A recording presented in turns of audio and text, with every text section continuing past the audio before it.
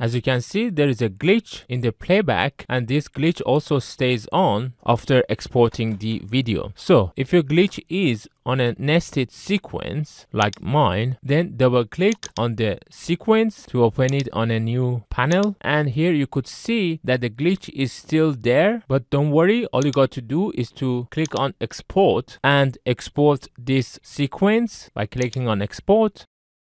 After opening the exported video, you could see there is no glitch. Now you can import back in the nested sequence and now you can place the new sequence on top of the clips that were glitchy. And once again, you can see there is no glitch. Now if you go back to your main sequence, you could see that now the glitch is also removed from that main sequence. So now you can export your main sequence and after opening the exported sequence you could see there is no glitches anymore on the final video as you can see i have tried and tested so many methods to fix this glitch if this video helped you to remove the glitch from your project i appreciate if you could like and subscribe to support my channel also don't forget to watch my other troubleshoots for removing glitches links in the description